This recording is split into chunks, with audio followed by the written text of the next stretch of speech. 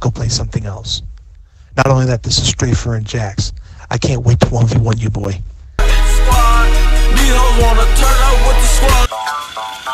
I've never been kissed, never had a girlfriend, never had a date. Not through a lack of trying, I must say.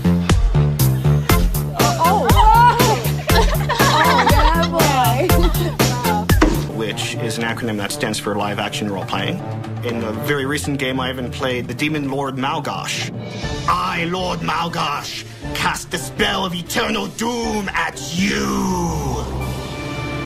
My name is Pio, but some people call me Pi.